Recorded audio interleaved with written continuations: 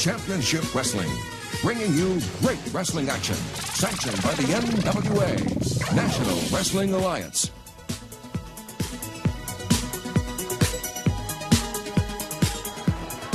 Hi, once again, everybody. I'm Tony Schiavone, and welcome to World Championship Wrestling. And you're ringside with the NWA, the National Wrestling Alliance, the Major League of Professional Wrestling. In the summer months, and the Great American Bash is in full swing. Excitement plus. We have seven more cities remaining in the Great American Bash, including the Gator Bowl in Jacksonville, Florida tonight. Ric Flair against Dusty Rhodes for the World Heavyweight title, what many people feel will be Ric Flair's biggest test during the Great American Bash. Let's bring in Jim Crockett, president of Jim Crockett Promotions. Jimmy, so far, the Great American Bash, tremendous success. A lot of things have happened also. A lot of things. We're halfway through Jacksonville tonight. A lot of winners, a lot of losers, but the big winner's been the fans all across America. Been the greatest birthday party we've ever had in this great country of ours. And we've got us one new bald-headed geek. That's exactly right. One new ball-headed geek, and Jimmy, we're going to be looking at that a little bit later on. Thank you, Tony. Thank you, Jimmy Crockett. Okay, special commentator, special guest host today on World Championship Wrestling, none other than Jim Cornette, manager of the World Tag Team Champions, along with Big Bubba. Along with Big Bubba Rogers, my bodyguard Tony Schiavone, I'm just here to help you out to lend some of my expertise in professional wrestling because I've seen you do this show before, and believe me, you need a little help. That's what I'm here for because I manage the Tag Team Champions. I've got the greatest bodyguard, and I'm the greatest manager, but besides that, I'm a heck of a commentator, and you're going to find that out. Okay, fans, we're ready with our first event. Let's go to the ring.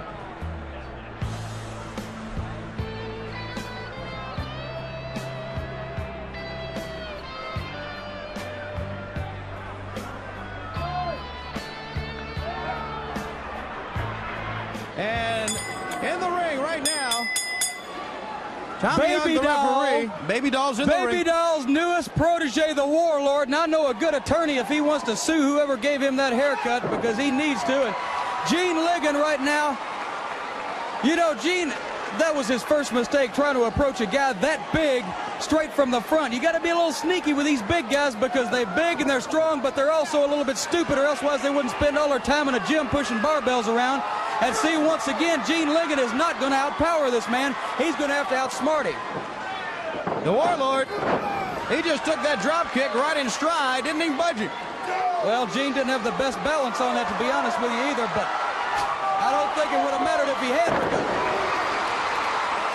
There's the a power, slam. And the Warlord once again, but I still, Tony Schiavone, don't think that Doll can guide a career with anywhere near the success a great manager like myself could. Once Let's take a look again, it's the replay. motion. We take a look at the Warlord. And the power slam. The winner over Gene Ligon in our first event on World Championship Wrestling, the Warlord. Ladies and gentlemen, right now I want to call in the NWA World Heavyweight Champion, the Nature Boy, Ric Flair. And Rick, a lot of people don't have the confidence in you that I do, and they think tonight in Jacksonville against the American Dream could be the biggest challenge of all the Great American Bashes. Well, Jim Cornette, first of all, let me be the first to congratulate you on your new position at Jim Crockett Promotions. I like seeing a man out here who's got some class and some knowledge of the greatest sport in the world, and you're right where you ought to be, right here, lending your expertise. As for Jacksonville, Florida, tonight, Dusty Rhodes, you've worn this on two different occasions. You've been the man in the state of Florida for 10 years. But tonight, punk, and I'm calling you a punk because that's what you'll be when I walk across that Gator Bowl, woo, looking as only I can look.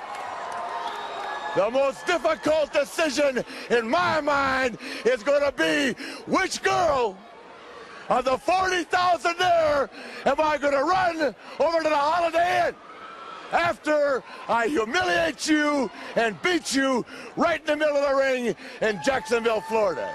You see, Jim Cornette, They're throwing, as the whole world knows, the 14 best at me.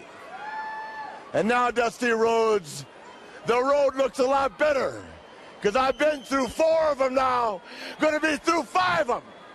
I am Ric Flair. I am the greatest of all time. I am the world's heavyweight wrestling champion. And Dusty Rhodes, more than anything else, I want to hear it from your own lips when it's all over, August 2nd. I want Dusty Rhodes to stand on national television and say, yes, Ric Flair is the greatest world champion woo, of all time. Woo!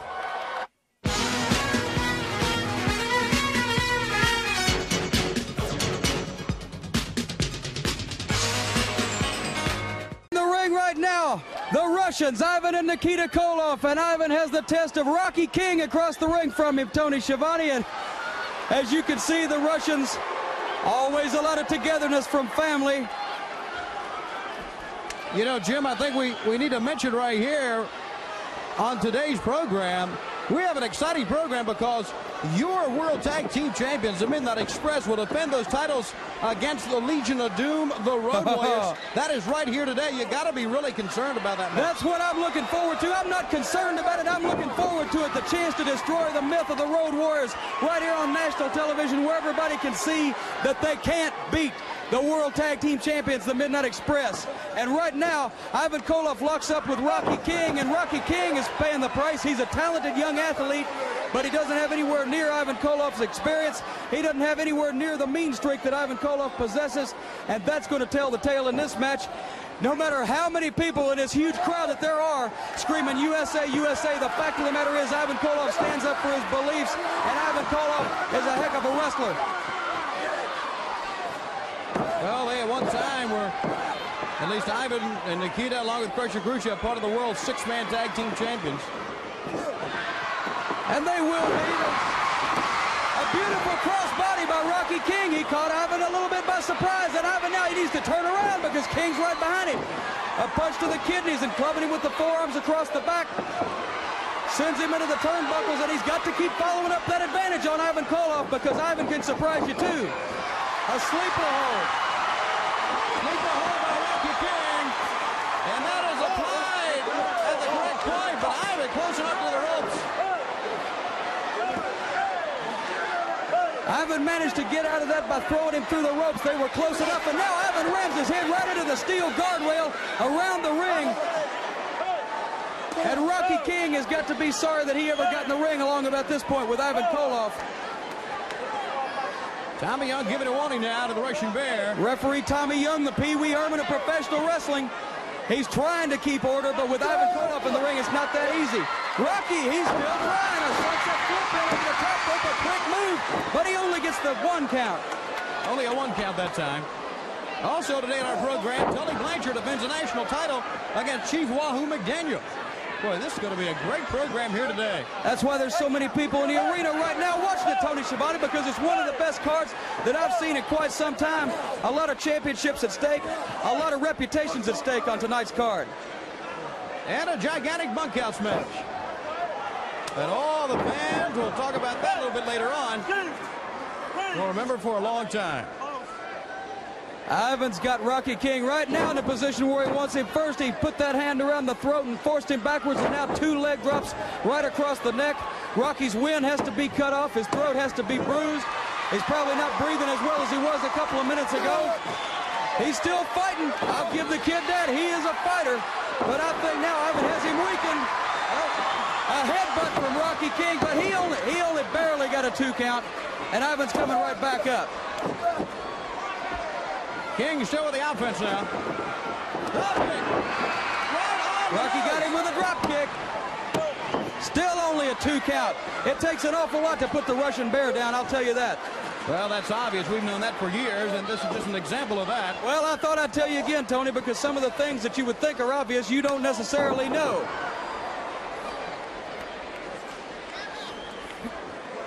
The Russian Bear now. Out of the ring goes Rocky King. There's Nikita Koloff left of your screen. He has that chain with him. Now, Nikita would never stoop to anything so low as to interfere behind the referee's back, Tony. Okay. Rocky King's at a disadvantage right now, anyway. Nikita doesn't have to do a thing. You're right. He doesn't have to do a thing, but. Now you see what happened What, there. tell me what happened there. Okay, what happened is it's not air conditioned in this arena, and a fly came in through an open door. He was it was a mosquito, a fly, some insect, some gnat, something like that, and it landed on Rocky King's back, and Nikita was just brushed off before it bit the man. I think he's allergic. That's what the problem was. Ivan Koloff continues his attack. He's working on Rocky King now. He's got him exactly where he wants him, and Rocky, he showed a lot of promise earlier in the match. I'll give him that. But the fact of the matter is, over the long haul, Ivan's experience, his conditioning played a part. He's up on the ropes now. And a high-risk move. And Rocky King got out of the way, Tony. He could have a second life. Ivan Koloff had a lot of problem there with that leg. Rocky King, a fine athlete and a guy who's really worked hard in this sport to be what he is. But now look at that. He's asking the crowd what he ought to do. He's wanting to please the crowd instead of beat his opponent, and that was his fatal mistake. And now he's throwing punches when he should be working on the knee that Ivan just injured. A back drop. That's attacking the back. That's not going to do any good. Go back to the leg, Rocky. Go back to the knee, you goof. Well, I'd have to agree with you right there. He does need to go to that leg. That is where the lack of experience comes in. He managed to give Ivan enough of a break off that injured knee. Ivan reversed the turnbuckle. Now sends the weight of his body across Rocky's back, forced his throat into the rope. And that's it for Rocky King. Maybe another day, but not today.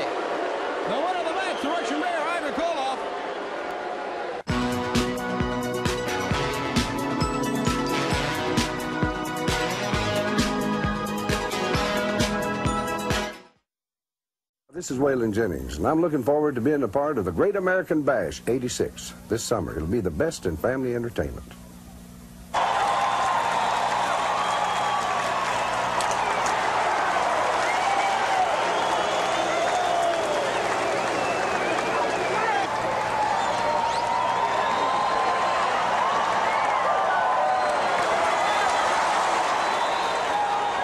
The Great American Bash 86 in full swing. And as you heard, we talked to Jimmy Crockett earlier.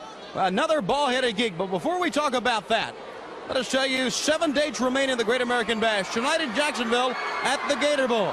Also in Richmond, Virginia. Norfolk, Virginia. Johnson City, Tennessee. Fayetteville, North Carolina. Greensboro, North Carolina. And all ending up on August 2nd, Atlanta's Fulton County Stadium in Atlanta, Georgia, the Great American Bash. Still in full swing, summertime family entertainment. Now, another ball-headed geek, Jimmy the Boogie Woogie Man Valiant, has always said someone's going to lose their hair. Relive with us a part of the Great American Bash just recently where someone else became a ball header. Forget. Jimmy Valiant, who said right there, Paul Jones, you're next, and signed for the Greensboro Coliseum, part of the Great American Bash. Paul Jones will put his hair up against Jimmy the Boogie Woogie Man Valiant. Let's bring in Magnum TA right now. Magnum, some people would say you're in a hole right now, the best of seven series for that U.S. heavyweight title during the Great American Bash. Well, obviously, Nikita Koloff has kept good his promise. He done a whole lot of damage to me. There's not anything left to yell and scream about because my insides are so busted up that I don't feel like yelling and screaming anymore. But I like insurmountable odds. I like people to tell me that I can't do something, that there's something that I can't accomplish. Because Nikita is a whole long, long way before this thing will be over. You and I have met. You've caused me a whole lot of pain. Pain to me is inspirational. But let's find out what happens when it gets turned around. When you're begging for that next breath of air. When you don't know which way to turn. I'm coming back. You try to stop me, I wouldn't expect anything else, but you're not going to do it. The bashes are still going on, and until you put me down for the four matches, the belt's going to come back to me. I'll take you any way I can right here in the bash. Let's go to the ring. In the ring, the Mid-Atlantic Heavyweight Champion on the right, Black Bart, going up against the man with the hands of stone, Ron Garvin, in a special edition of World Championship Wrestling. Coming to you from the state capital of North Carolina, Raleigh. And next week, another special edition of World Championship Wrestling. Coming to you from the state capital of South Carolina, Columbia. I didn't know South Carolina had a state capital. Where did you go anyway? Tony, I went to get a drink of water and I had a phone call from my mother in the back. I had to answer. It was a very important message that she'd left for me. Did I miss anything? We uh, had our Great American Bash update, which I expect you to help me on. We showed Oh, I'm Shaska sorry. getting shaved, and then we had Magnum TA come out and talk with us. Oh, so I didn't miss anything. Okay, that's fine. Right now, I knew I didn't want to miss this. Black Bart, the Mid-Atlantic Heavyweight Champion, Ronnie Garvin, the man with the hands of stone, and you got to give him credit. He is one of the toughest men in professional wrestling today. And right here in the state capital of North Carolina, Raleigh, North Carolina, you can see the arena's packed. If there was ever a proof positive of the term hanging off the rafters, it's in here tonight, and everybody has come to see this match among many others, all the top competitive matches on the card tonight. And Black Bart has a point to prove with Ronnie Garvin. They're trying to decide, you know, Black Bart, being from Texas, he's got a natural inbred instinct toward being tough. He wants to be recognized as the toughest guy around. And Ronnie Garvin is a threat to that reputation because a lot of people think that Ronnie Garvin is tougher, can absorb more punishment than maybe anybody in professional wrestling. So now we've got a little pride involved in this match as well as any uh, monetary financial gains, any kind of titles. We got pride, which is always one of the driving factors anywhere, anytime you get in any kind of professional sport. And Ronnie Garvin right now with a flurry. Black Bart heading back into the corner. Ronnie Garvin with a flurry of chops, a big right hand to the head, a headbutt, and Bart's flat on his back. The key to winning a match with this big man is to take him off his feet, and Garvin has done that very quickly. And it's not an easy thing to do. Six feet four inches, 310 pounds, Black Bart. And now he's right back on Garvin. He's not giving him time to breathe. He's got the arm wrapped around the top rope. He's using those side headbutts into the shoulder, maybe trying to dislocate the shoulder. Still got the arm wrapped around that top rope, now working on the elbow joint. He's trying to incapacitate Ronnie Garvin's arm, maybe so he can't throw some of those chops or some of those punches that he's famous for. Headbutt to that left arm. Boy, these two men, Bart and Garvin, have certainly done battle. Once when Garvin had that national title and Bart won that from him in a loser leave town situation. And right now you see Ronnie Garvin's right hand, one of those hands of stone that he's so famous for that he throws that knockout punch with. Bart's got it on top of the turnbuckle. He's dropping the point of that elbow straight across the flat of the back of the hand. If Ronnie Garvin's hand gets injured well enough, he's not going to be able to throw that punch. He's not going to be able to throw a chop. And that's two of his most effective weapons taken straight away from him. All right, as part of the Great American Bash fans, you know there's taped this match between Ron Garvin and Tully Blanchard. I wouldn't be surprised if Tully had maybe buzzed Black Bart a little bit before this match. Hey, work on the hand, work on the hand. Because that would be an advantage, and Tully Blanchard is not above taking care, taking every advantage that he can get in a match with one of the top competitors in the country today. But Ronnie Garvin now coming back with headbutts. The man uses his whole body as a weapon. Drops a big elbow across Bart's chest, the cover, but he only gets the two count. Because you got to do a lot more than that to Black Bart to get the pin. Now Garvin, you see, he's showing the effects of the punishment that Bart had been dishing out. He's got Bart in that front face lock and he's got him down on the mat. He's trying to cut Bart's wind off while maybe saving some of his, getting some of his own breath back. Garvin could go behind there. Obviously, gives away a lot of weight when he goes up against Bart. But Ron Garvin, a master at making you scream and just knowing where to apply the punishment. And he's doing it right there. I think all the fans here in Raleigh could hear the cry of pain.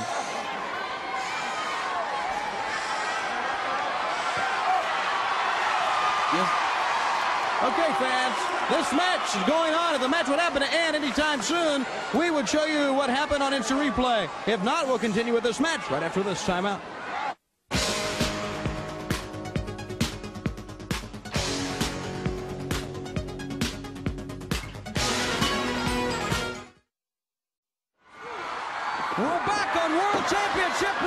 And Black Bart has been taking it during the break to Ronnie Garvin all the way through. Garvin just tried to mount a comeback, but when he got to the turnbuckles, Black Bart wasn't there. He moved out of the way, and now Garvin's in a bad, bad spot. Hung upside down. The referee, Tommy Young, just got him loose, and now Bart's pouring it on. He's putting that steam on because he knows that he's got Garvin in a vulnerable position, Tony. Bart, the Mid-Atlantic champion, making an appearance here on World Championship Wrestling. Grabs him by the hair, slams his forehead into the mat. And everybody wonders a lot of times what those wrestling rings are made out of. That's nothing but a wood floor with a little bit of carpeting on it and that canvas. It's not very soft, and when you get your head run into it, you definitely know what's happened to you.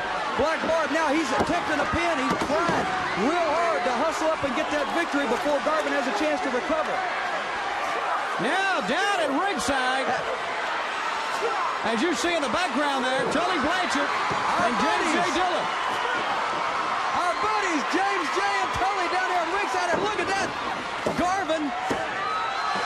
Oh, he almost had that three count, but uh, Bart was accidentally hung up in the ropes. He was accidentally hung up in the ropes, and the referee's not going to allow the pin. Bart's back on top of Garvin. Firing away with those big broad arms across the chest. Look at Garvin's expression. He's trying to find a place that he can go. Trying to find some way to get out from under there, but Bart's pouring it on. Right to the head. Garvin can't even put his guard up. He's reeling all the way across the ring. Tony, this could be it. And you know what it is? It's because Tully Blanchard and James J. Dillon are at ringside. They've bluffed him. A psychological advantage. He looked at them, paid too much attention to them, and now Black Bart's making him pay the price. A desperation headbutt, but Bart's still on his feet. Well, it's not beneath Tully and JJ to get involved in the match, not only psychologically, but physically. They're just there to watch. Now, Bart made a mistake. He rushed into the corner. Garvin caught him with the knee. His feet are on the ropes. His feet were on the ropes. Ron Garvin, the man behind the stove. Now, Tully and JJ won't claim anything. Feet were on the ropes. Well, they were on the ropes. They're not claiming anything. This is one of the biggest rip-offs I've ever seen on World Championship Wrestling. Ronnie Garvin pinned Black Bart with both of his feet, not only out through the ropes, but his shoes were in the parking lot. Tommy Young has made his final decision, the winner of the match. The man with the hands of stone, Ron Garvin. Really a tough match on both men's part. Have we got a replay on that?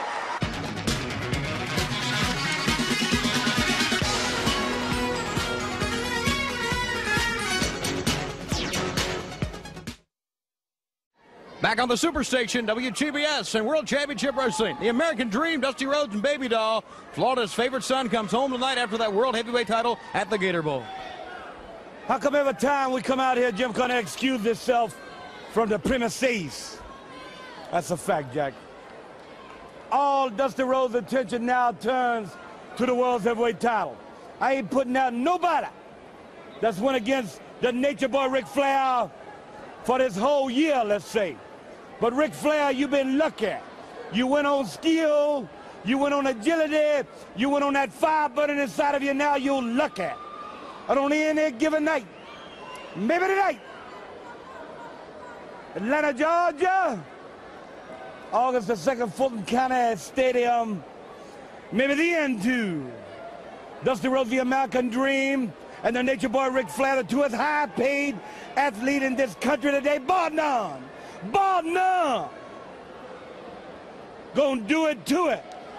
Dusty Rhodes, two times World Heavyweight Champion, Nature Boy Ric Flair, the plumber son from Austin, Texas. I might not look like a normal athlete's supposed to look. I might not can run 100 miles without taking a deep breath. I might not be able to leap a tall building at a single bound, but I have held the world's heavyweight title two times, not once. So you got to go to bed with them other things on your mind and clear it up because about 4 o'clock in the morning you start thinking about Dusty Rhodes and it lasts all day long. And Ole Anderson, I'm tired of you coming out here and saying in 1986, Dusty Rhodes gonna pack up his gear, throw his wrestling gear away, and put it aside. Let me tell you something, old man. I'm here for you. Jump on it and see how tough you really are. Let's go to the ring, fans.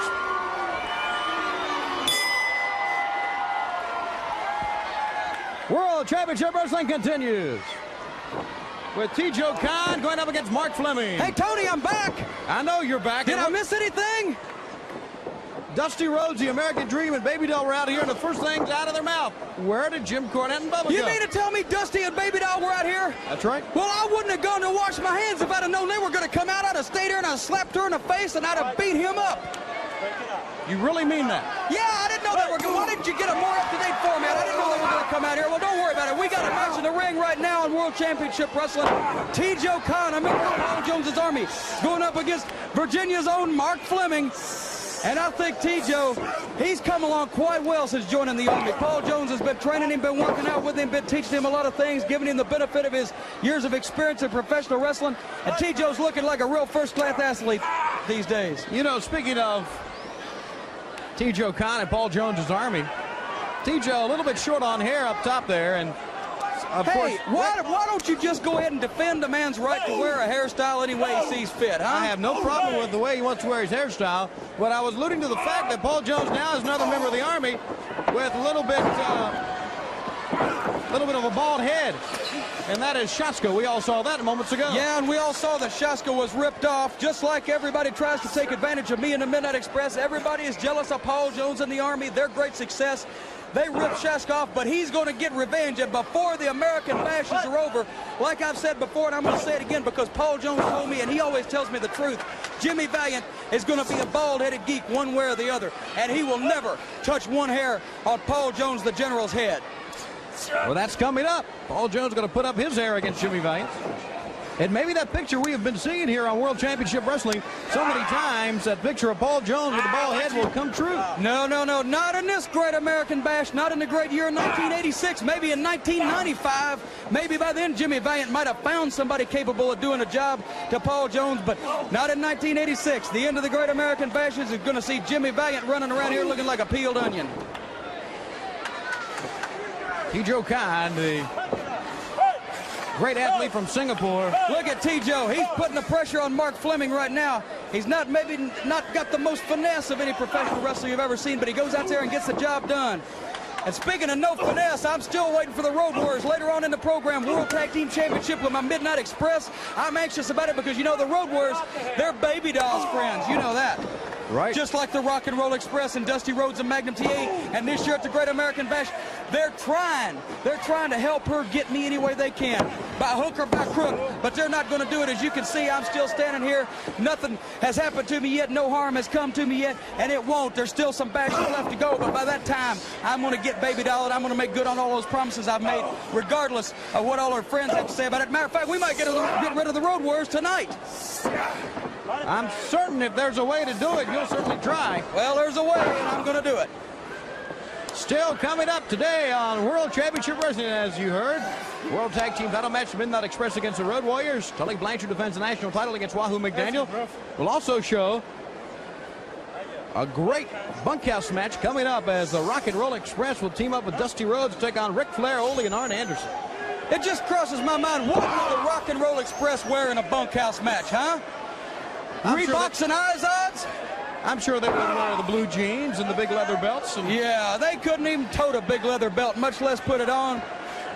The real men in that case are not the Rock and Roll Express, and I think we're going to find out that uh, maybe the Rock and Roll just shouldn't shouldn't get in those bunkheads. Maybe they ought to get in a disco match, huh?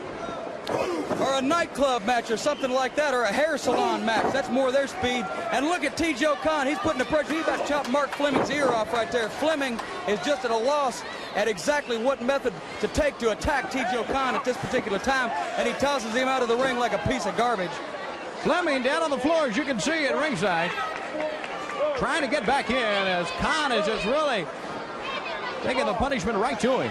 Throwing the man out of the ring has advantages and disadvantages. If you throw him out the right way, he's going to hit that floor. He might not even be able to get back in the ring. If he's able to catch a rope, catch an apron, somehow break his fall, then that's going to give him a few seconds out there on the floor to play possum and get his breath back. So you take a little risk when you throw a man out of the ring, but if you do hurt him where he can't get back in, you've got the victory wrapped up.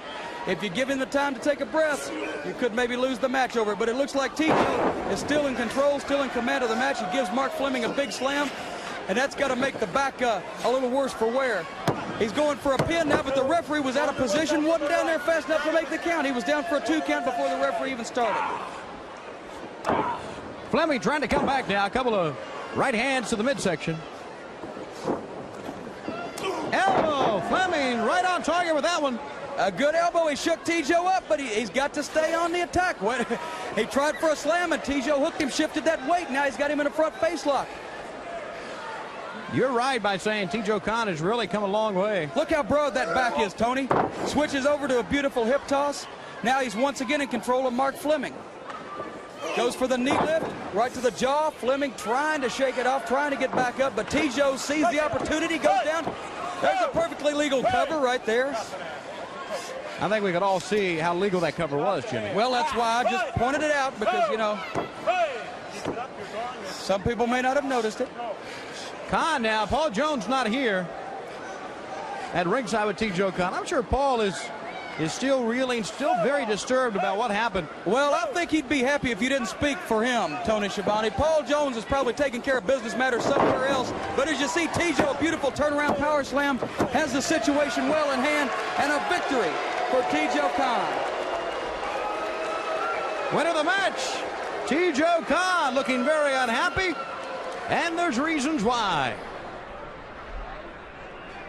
Okay, fans, later on in the show on World Championship Wrestling, you will see for the World Tag Team title, the Road Warriors against the champions Midnight Express with Jim Cornette. And you mentioned the Road Warriors, good friends of Baby Doll. Yeah, I mentioned the Road Warriors, good friends of Baby Dolls. And Baby Doll, you're trying to get all these friends of yours to get rid of me one way or another because you know I'm steaming down on you. You know I'm coming after you. And you know before the Great American Bash in July 1986 is over, maybe ending up on August the 2nd in Atlanta, Georgia, you know that I'm going to have your number. You know that I'm going to make good on all the promises that I made and I'm going to get rid of you and get you out of professional wrestling. That's why you got the Road Warriors going after my champions at Midnight Express tonight, trying to take away their titles, trying to embarrass me, maybe try to get to me physically. You got the Rock and Roll Express waiting in the background. You got Dusty Rhodes, your American Dream, and your America's heartthrob Magnum TA. You got them waiting. And this big goofy warlord with the butchered up haircut. Well, let me tell you something, darling. I got the indestructible Bubba Rogers, my personal bodyguard, standing right behind me at all times. He don't go anywhere without me, and I don't go anywhere without him. And he's taking real good care of me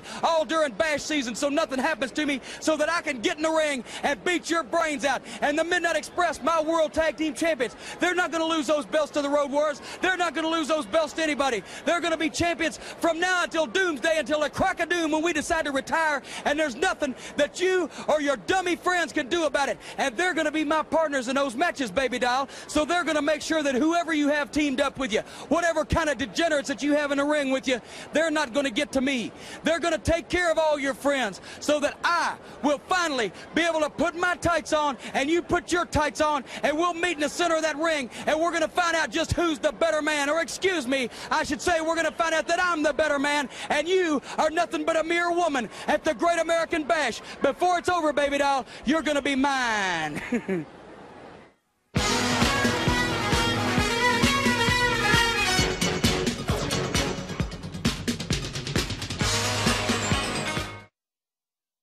Back with you fans of World Championship Wrestling, bringing in the Rock and Roll Express. Robert Gibson, Ricky Morton. Not only are there seven bashes yet to go, still to come in August, the Rock and Roll Express Super Summer Sizzler Tour. That's right, Tony. The bashes are getting hot. You know, coming up in Fayetteville, Ric Flair, you got to face me right there, Sonny Boy.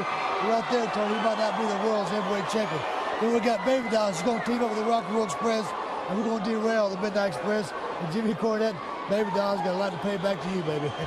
That's right, Tony. When we're stuck right in the middle of thick of things. Right in the middle of the bash is the greatest thing that's ever happened to the Rock and Roll Express. And when it ends up in Fulton County Stadium in Atlanta, that's when the Rock and Roll Express Super Summer Sizzling Tour begins. And brother, I'm telling you, Robert, we're gonna have ourselves a good time right now during the bashes and when it's over. All summer long, baby. So be ready and hold on tight because things are exploding like dynamite.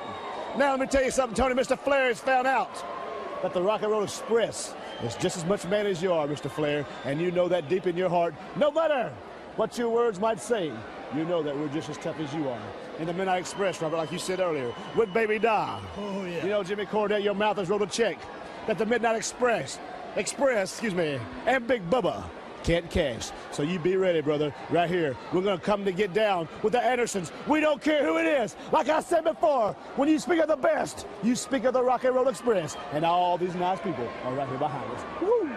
Let's go to the ring, fans. This match is for the national heavyweight title. Chief Wahoo McDaniel, the challenger, and there's the champion, Tully Blanchard, along, of course, with James J. Dillon. World Championship Wrestling and a national heavyweight title match here today. Good to have you with us. Jim Cornette, my special guest host, has mysteriously disappeared again. You know, it wasn't too long ago when Wahoo McDaniel and Tully Blanchard called themselves the Awesome Twosome. And now doing battle in the ring against each other. Hey, Tony, I'm back. Hey, Jim. Did I miss anything? Yeah, we talked to Ricky and Robert, the Rock and Roll Express. Golly, gee, man, why don't you tell me when those guys are going to come out here and I would, I would be here. I had a very important thing to do just in the back just now. And you did? I, yes. And I just couldn't make it out here in time. No, drop Wahoo.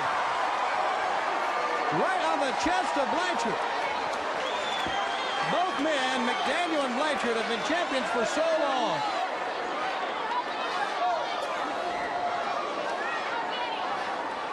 And now you can see Tully out there to take a word of advice from James J. Dillon.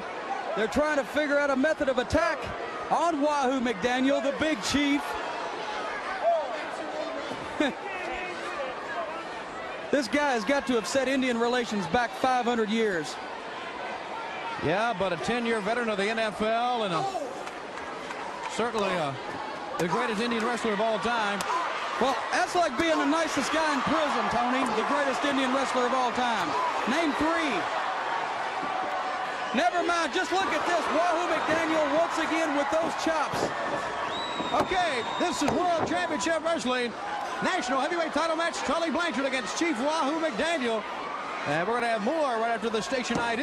And we'll be back with more of World Championship Wrestling. Don't go away. I can't wait. All right, back on World Championship Wrestling. Here's truly Tony Schiavone along with our special guest commentator, the manager of the World Tag Team Champions, Jim Cornette.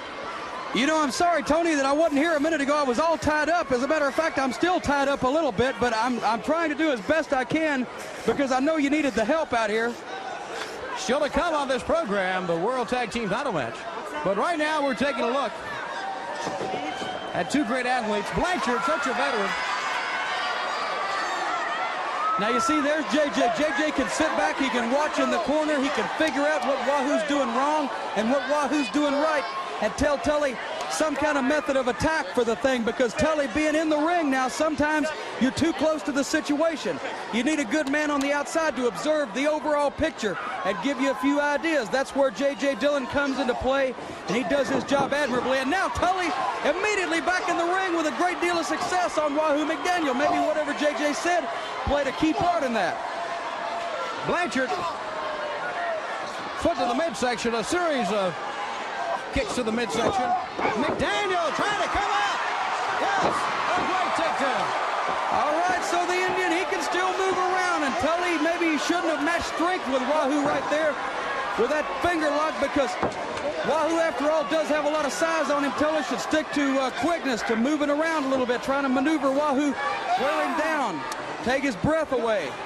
An attack of that nature because strength to strength, Wahoo would probably have the edge. Now Wahoo working on the wrist. He's got the elbow joint bent backwards over his knee the wrong way.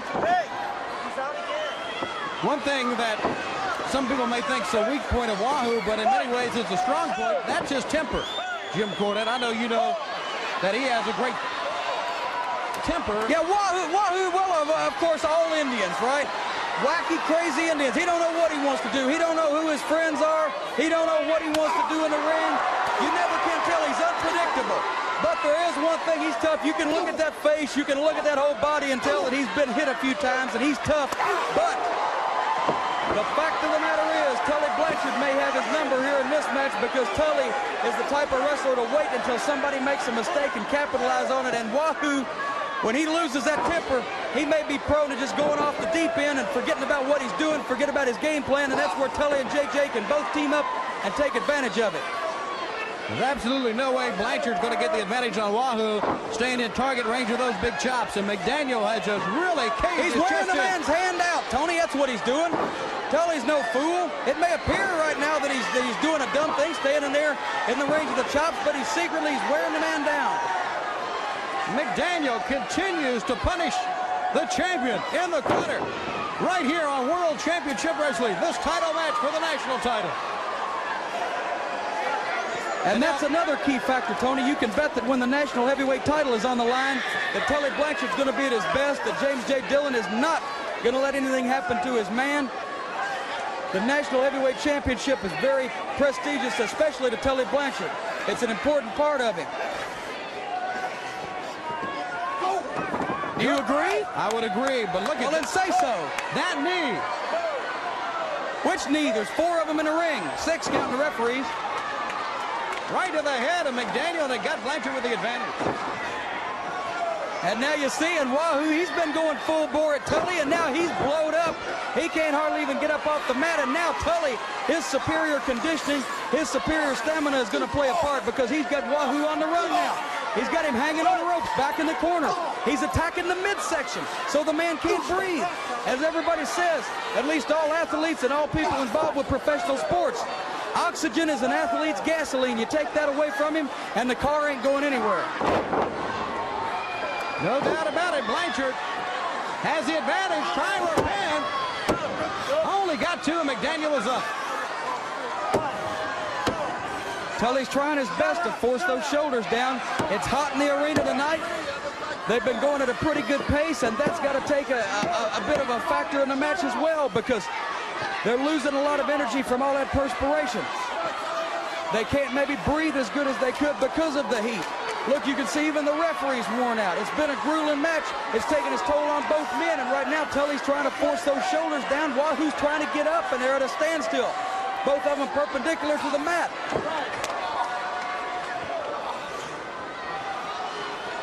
Blanchard, the first man up. Drives the knee in the back of the Chief. The Chief's not getting up as quick as he used to. Is Tully trying for a slingshot? He's not close enough to the No, he's not close enough to the ropes, and he can't get the big Indian. Oh! Whoa, McDaniel countered with a suplex of his own. And that was a quick snapping suplex that sent Tully crashing into the mat with a lot of force. And now Wahoo drops with a chop across the upper frontal lobe of Tully Blanchard. McDaniel now standing in the ring Blanchard goes down to the floor. And that right there is what's known as strategic maneuvering. That's not running, that's not cowardice, that's strategic maneuvering. It's a well-known fact that your opponent can't attack you outside the ring within the rules of professional wrestling, so he rolled out just to take a breather. Now, if Wahoo was smart, he'd be backing up to a neutral corner so the referee could make a count, but no, he's got to be a big man and try to go after Tully Blanchard out outside the ring where it's illegal. And Tully's just now running, he's him out. Look!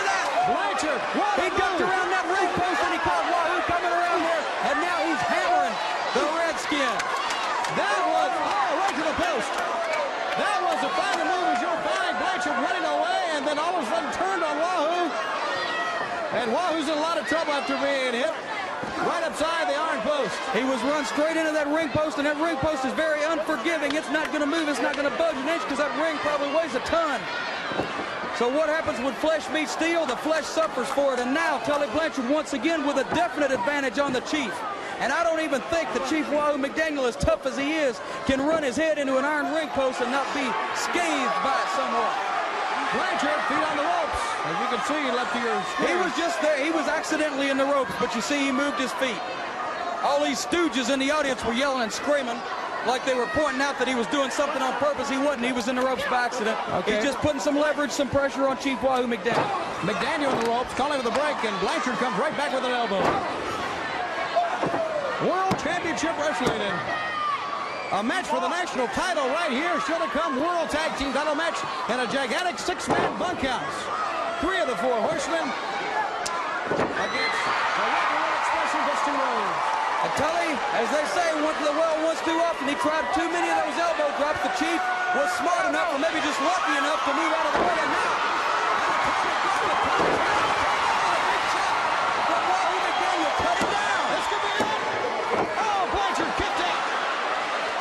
Tully's fighting for his title. That's a national heavyweight championship. It's on the line. Now Tully trying to get over to get a word from JJ. He's in the ropes. Wahoo McDaniel should be breaking the hold as you see JJ whispering in his ear, giving him a little bit of advice. The ability of Blanchard to bounce back after taking punishment. We've seen it so many times. and really evident here tonight. Wahoo's laying into him. A big chop. How much longer can he last? And you see there, Tully put his foot right on the rope. That necessitates an automatic break. Look at Dillon. Now he's pulling his socks up. No, he's got Let's something. talk about the match. He is doing something to Now Blanchard. Tully Blanchard getting up. You can see and, him and right boom! A big right hand. I think it was an open-handed slap on Chief Wahoo McDaniel, and he's got the what? What's Ronnie Garvin doing in there? There was something in that right hand. It's now down in the trucks. He's reaching for it again. Oh, you guys!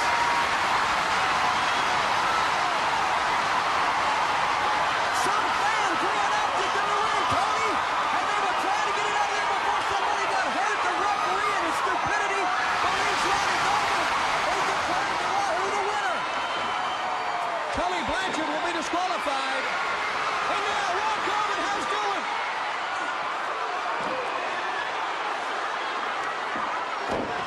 Right hand to the head. Now this is what I've been waiting to see all along, the slingshot on Ronnie Garvin right there. And that's exactly what's going to happen to Ronnie Garvin. Every time he meets Tully Blanchard, he's going to end up flat on his back. The winner of this match will be Chief Wahoo McDaniel by disqualification because of the foreign object. And Tully Blanchard will still retain the national heavyweight title. Great match. Dillon clinging to that belt. I'm here now with the Russians, Ivan and Nikita Koloff. And Nikita, you got a lot of things on your mind, and the United oh. States title is foremost. I hear Magathie, and he come on, talk about how bad Nikita hurt him. Well, Magathie, you know her the bad yet. When it's all over, going to be many wrestlers going to carry you from ring. No two, no three, no four. Many going to carry you. And if you can, you going to come out here front all world and tell how Nikita not only hurt you, but how Nikita defeat you. And Nikita, superior Russian athlete, you as a champion, no you Magathie and Road Warriors. You know the last of Nikita, Uncle Ivan, and Crusher Daniel. You know, Magnum TA, if this was a horse race between you and nephew Nikita, you'd be a couple lengths behind, coughing up the dust that Nikita was leaving. But this is not a horse race. This is wrestling. And yes, your ribs are hurt. Your whole body's hurt. You feel it. But I know you're a tough American. You can take it. You're a good fighter. You're a proud American. You're one of these Americans who believe that you can get up and come up from underneath and gain victory. But no, no, not this time. Yes, nephew Nikita is ahead in the best of seven series. And he is going to be United States heavyweight champion. Nothing you can do about it. And Road Warriors, Jacksonville, Florida, Gator Bowl, we're going to slap the paint off of you and send you out in the Pacific where you've been. We'll be back on World Championship Wrestling right after this.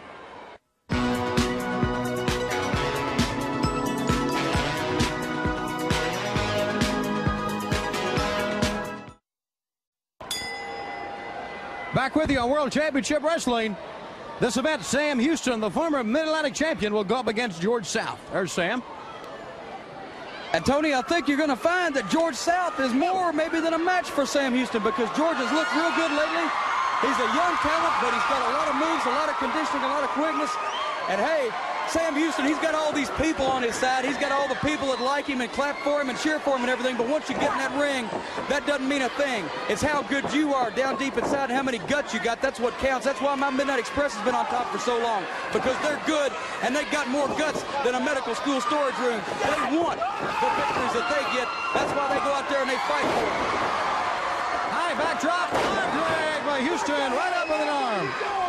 Both these guys are quick, no question about it. And Sam Houston, he's got a he's got an exceptional amount of quickness. He's got to because he's got to compensate for that weight that he's not carrying around yet. He's still young. He's still putting on pounds. But right now, when he goes up against guys that outweigh him by a lot, he's got to have an extra amount of speed in there to compensate. This event on World Championship Wrestling. Don't forget, still to come, our World Tag Team title match. As your Midnight Express, Jim Cornette, defend against the Legion of Doom. Yeah, and I got a few surprises for the so-called unbeatable Road Warriors, the most talked about tag team. My team should be the most talked about team in the world because they're the champions, not a couple of goofs that push barbells around and paint their faces up and wear a lot of leather and a lot of spikes. And look at George South, what did I say? He's making his moves on Sam Houston, a big slamming. There's the inexperience. Once again, we talked about inexperience earlier with Rocky King and Ivan Koloff. In this case, it was George South. He's got all the moves, but he's got to get that knowledge up upstairs of when to apply them. He went for the elbow before his man was sufficiently weakened. Sam Houston played possum long enough to get him up in the air. Then he rolled out of the way. All George South's elbow got was empty mat. And now Sam Houston comes back up with the arm bar and working on that shoulder joint. Houston looking towards the crowd. There's a points you brought out earlier about looking to the crowd for advice that you do not agree with. Yeah, hey, if the crowd was capable of giving advice in a professional wrestling match, then they'd be down at ringside as a manager or they'd be in the ring as wrestlers. And everybody knows that 9 out of 10 of these guys in the crowd that come to see the wrestling matches and pay to buy a ticket, I don't care whether they think they're Superman or what, if they hit the ropes about three times, they'd be blowed slap dab up and wheezing saying, please, please get me out of here. Because it just ain't a place for an ordinary man. You got to have a special kind of conditioning. That's what these men have. So Sam Houston looking to the crowd for advice, that is a fool's errand right there. He ought to be looking to his own self down deep in his guts and in his brains for advice. Houston behind South. South wisely goes to the ropes and got a clean break out of that. You're right There's about George nothing South. chintzy. There's nothing cheesy about going to the ropes. No, nothing at all. That's a perfectly legal maneuver to get a break out of a hold. Back to the ropes now. Let's see if we get a clean break from South. Raked him across the eye. He did not. He broke clean. Maybe his finger happened to touch Sam in the eye on the way out. Now he puts the chop on Houston, sends him across the ring, tries for the elbow. Houston does the flying bulldog. Only got a two count. Boy, I thought he had him there, Tony. I thought he did too, Jim. A flying side bulldog. That's an excellent maneuver, especially for a guy as young as Sam Houston. He's picked up a lot of moves in his time in professional wrestling. Now the fans are calling for another bulldog. Houston continues to hold on the arm. South goes to the hair and comes up with a head scissors. I saw South uh, use leverage to put Sam Houston down in the head scissors. That's exactly what I saw. Well, that's about what Tommy Young saw because the break remains, or the hold remains. Did not call for a break.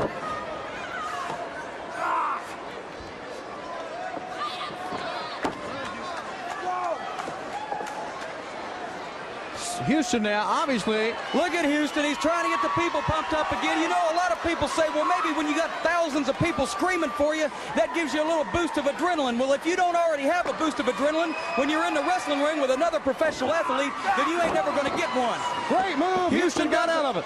Houston does have a good move there, a good escape from the head scissors, but once again, he comes up with a headlock. George South picks him up, and Houston hangs on like a bulldog.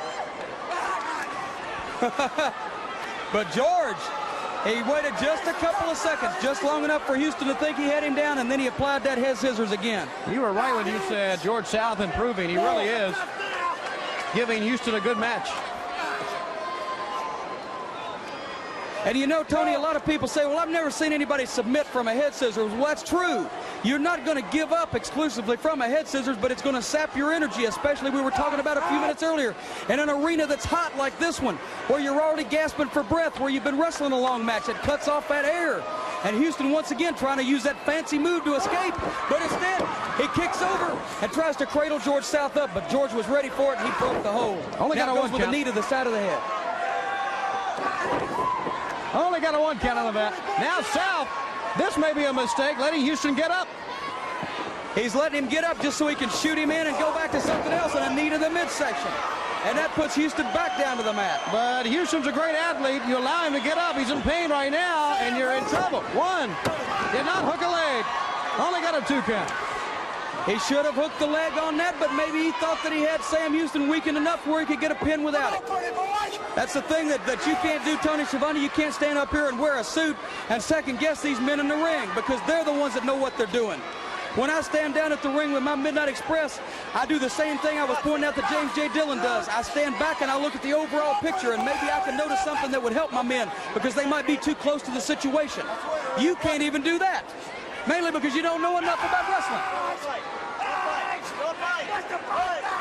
This is not a program to tell everybody how much I or you know about wrestling. Well, it wouldn't take a very long program to tell everybody how much you know about wrestling. But George South now, he drops a fist right into the throat of Sam Houston, right on that Adam's apple.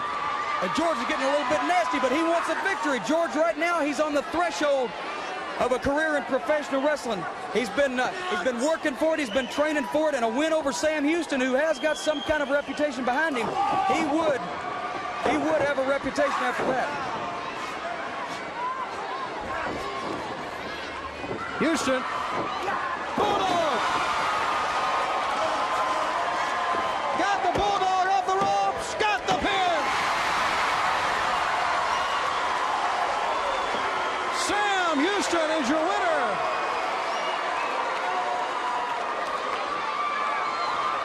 We have been talking about our World Tag Team title match coming up. The Midnight Express with Jim Cornette to defend against the Road Warriors. That is coming up in just a few seconds. And don't forget a gigantic bunkhouse match still to come as the Rock and Roll Express and Dusty Rhodes take on Nature Boy Ric Flair and Ole Arn Anderson. Now let's go to the ring for this announcement. Ladies and gentlemen, the most awesome combination in wrestling today, the tag team champions of the world, Loverboy Dennis and beautiful Bobby, the Midnight Express.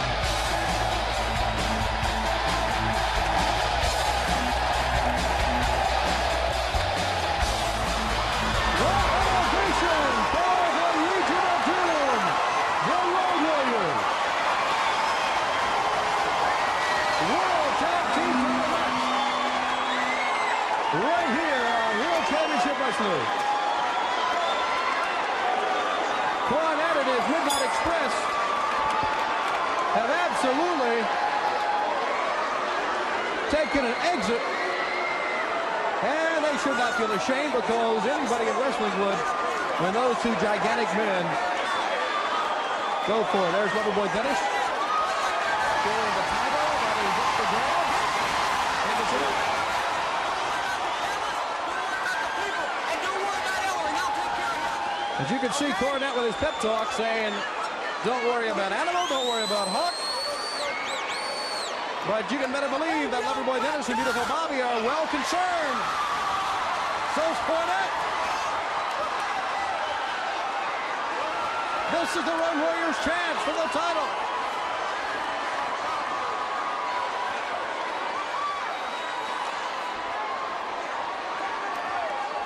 Animals in first.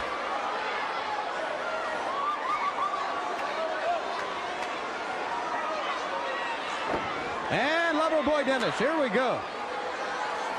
You see Big Bubba and Cornette at ringside.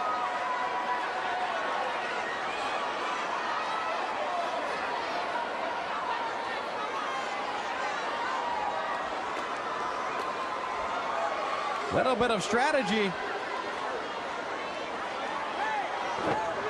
by the midnight. All right, headlock by Loverboy Dennis.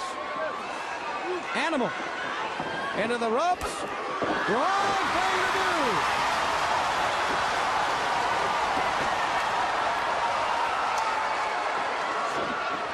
Again, Animal drops down. Over top. Elbow.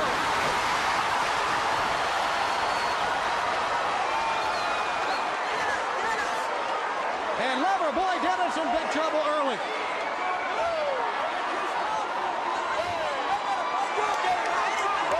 And it mentioned here while he was talking with us on World Championship Wrestling that he can, as a manager, view the entire overall picture and help with strategy. And so far, we're less than two minutes into the match that he's had a couple of talks already with his men.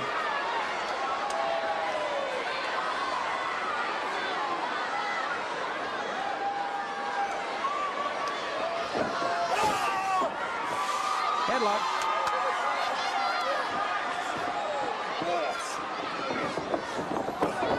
Tackle. Animal again. Oh, that time a big drop kick.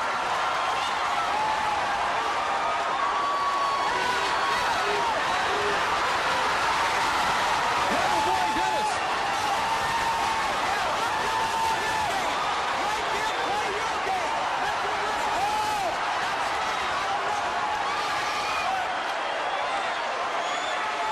Words of encouragement from Cornette, to say the least, have Loverboy Dennis wanted to leave the arena. They are stupid. They're big, dumb weightlifters. They can be outsmarted. Outrun them if you have to.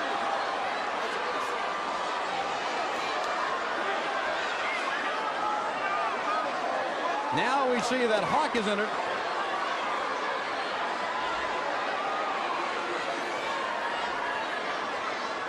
And again, I guess as much as stalling for time as anything else.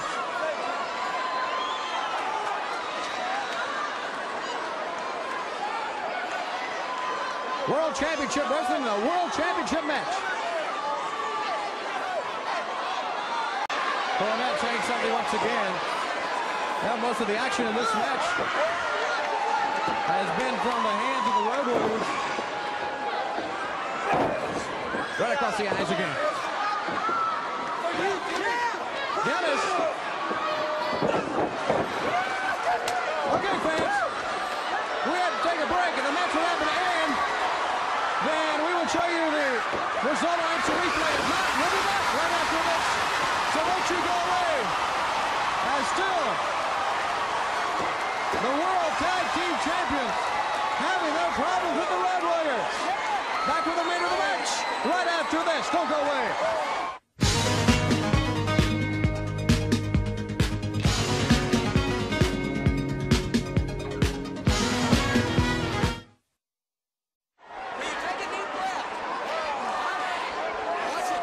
Jim Cornette with some words to beautiful Bobby. I don't know if we can pick up what they're saying or not, but one thing is obvious. Animal has just been standing center ring and just has just been fending off any challenge by either Bobby or Dennis, so the World Tag Team Champions. World Championship Wrestling in this match for the World Tag Team title. Beautiful Bobby. A little bit too smart that time. But now Animal. Goes it back to the ring.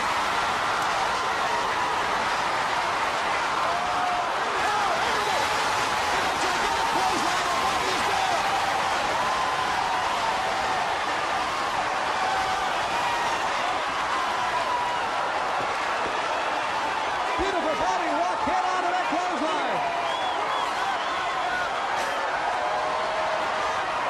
This could be the night for the Road Warriors.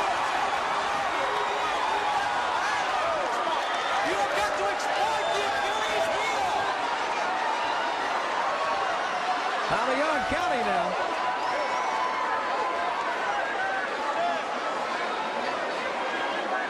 Slowly, the World Tag Team Champions get back to the ring.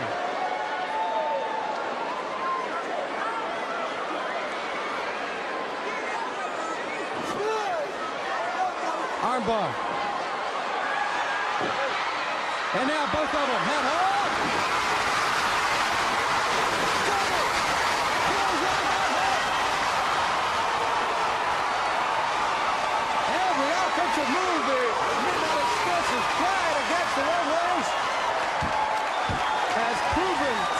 This one as Cornette shows his actually displays of frustration.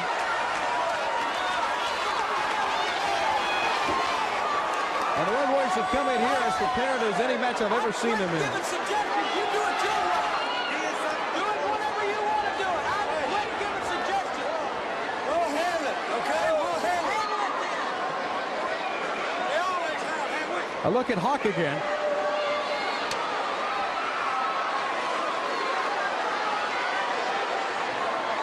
He has not had to do much except stand in the ring and fight them off. They've come at him with everything. Beautiful Bobby up top. And now the Hawk. He missed. Hawk missed, and Bobby quickly moved out of the way.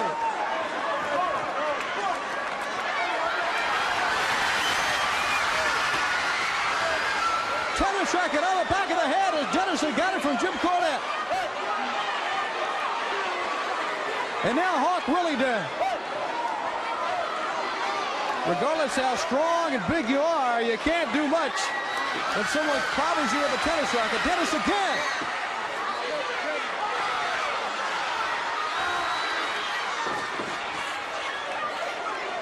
And Hawk in big trouble. You got to give them credit.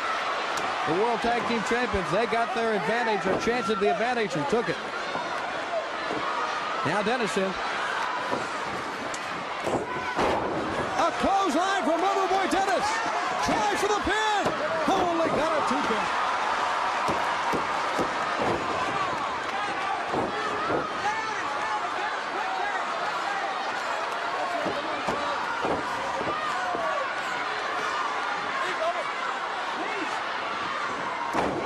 Right into Bobby's knee.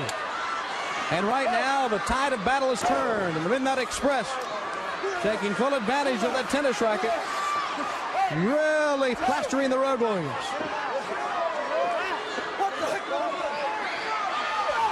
Hawk.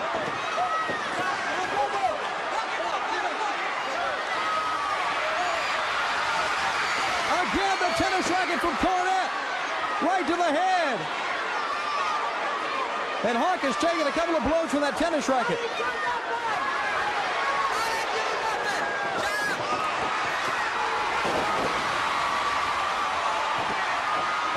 Now Hawk trying him out a comeback, but he's dazed. A tag! Kick by Animal. Another one. Power slam!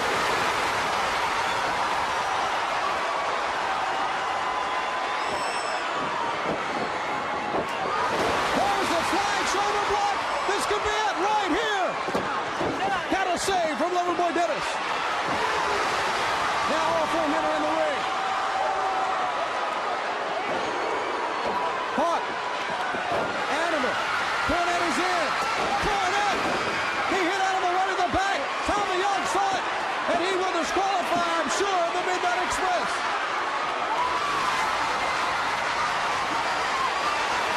Now Owens.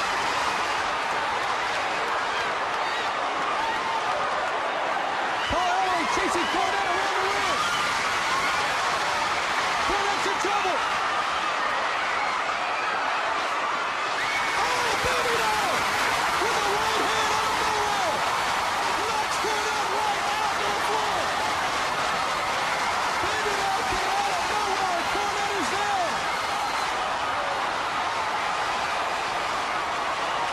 The match will go to the Road Warriors by disqualification. And Jim Cornette, not looking the other way, struck down by Baby Doll. The Midnight Express will retain the World Tag Team title, but it's a night Cornette will never forget as Baby Doll leveled him with a right hand. Right here on World Championship Wrestling.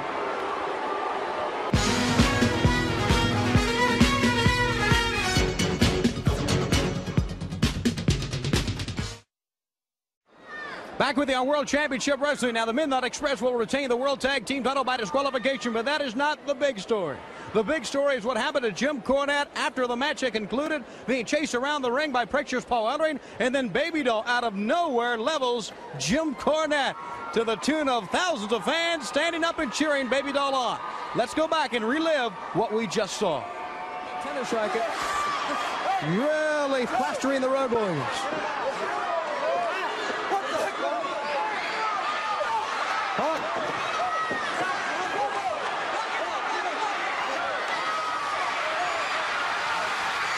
Again, the tennis racket from Cornette.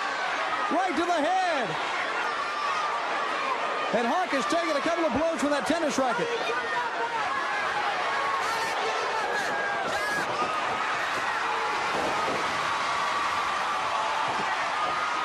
Now Hawk trying him out a comeback, but he's dazed. A tag! Roll kick by Animal. Another one. Power slam!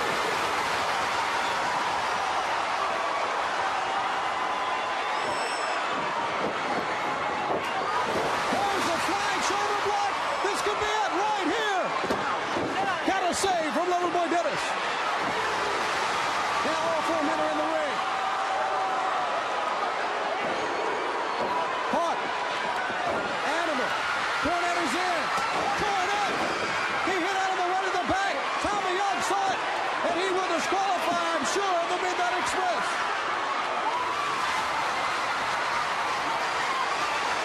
Now Ellering.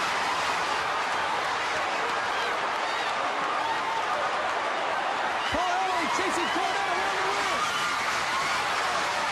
Cornette's in trouble. Oh, baby doll! With a right hand out of nowhere. Knocks Cornette right onto the floor. Baby doll came out of nowhere. Cornette is down.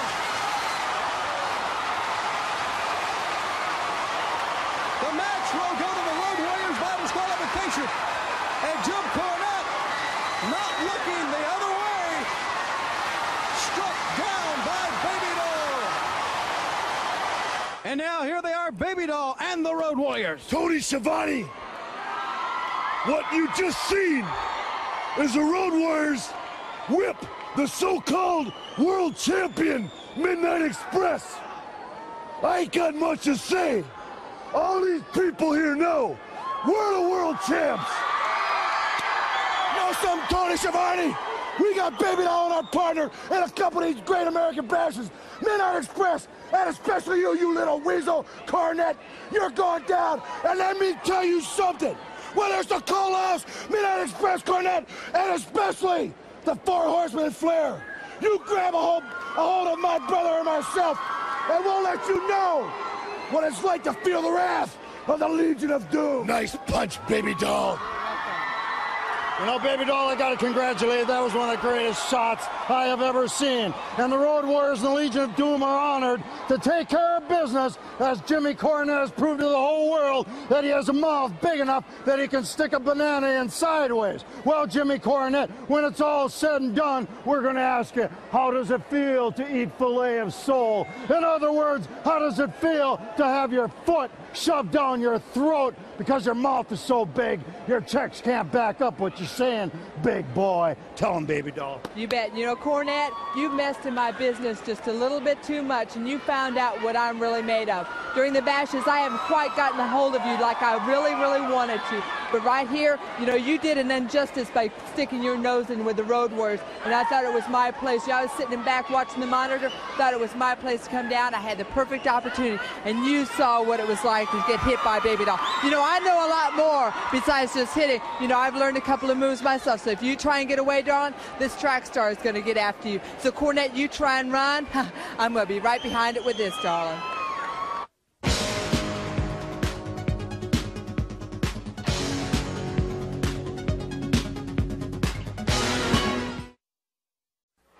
Back on World Championship Wrestling, Jim Cornette co-host. I have nothing to say. You can explain this. You better not give me that microphone. You better not say a word because I'm going to talk straight to Baby Doll because she just proved my point.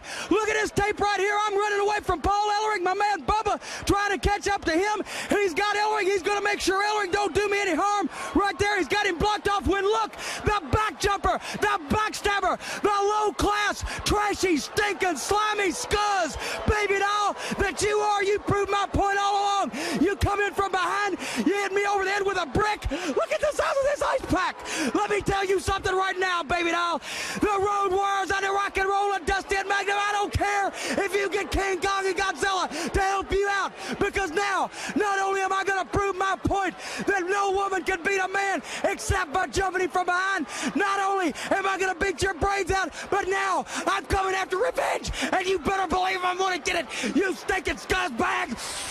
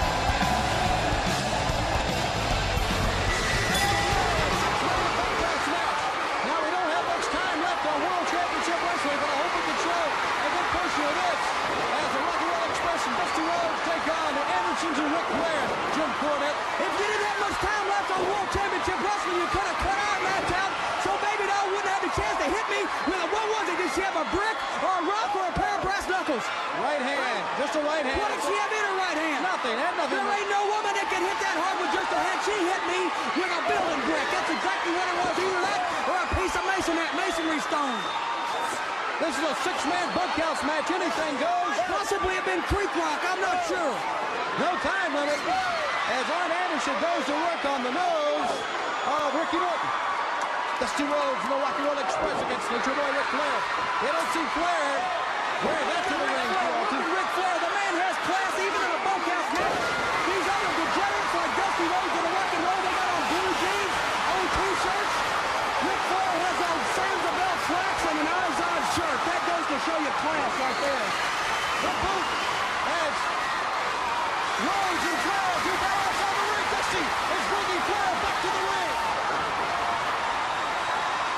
World Championship Wrestling. And what an exciting program this has been today. Exciting for most of us. It wasn't very exciting for me. It was daggone aggravating for me have to put up with a girl jumping me from behind and hitting me over the head with some kind of cement block. Arn Anderson down in the center of the ring, staggering as Morton takes the boot again. Oh, you take a look at Robert Gibson. Look at the size of this ice pack, Tony Schiavone, and it's melting quicker all the time. You realize, Mother, how how upset she would be if she knew that a girl hit me over the head with a piece of roofing machinery or something? Oh, this is nationwide TV. She's going to see it. She's going to be able to watch it. What was it? Was it asphalt? No, Jimmy was a right hand.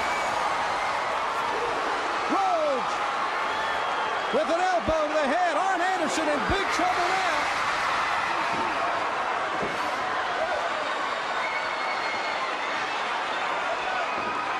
Ricky Morton with Flair. Anything goes. All six men in the ring at the same time. But we are closing out another program of World Championship Wrestling for Jim I think it was two full soft drink cans and a sock. I'm Tony. Schiavone. See you later.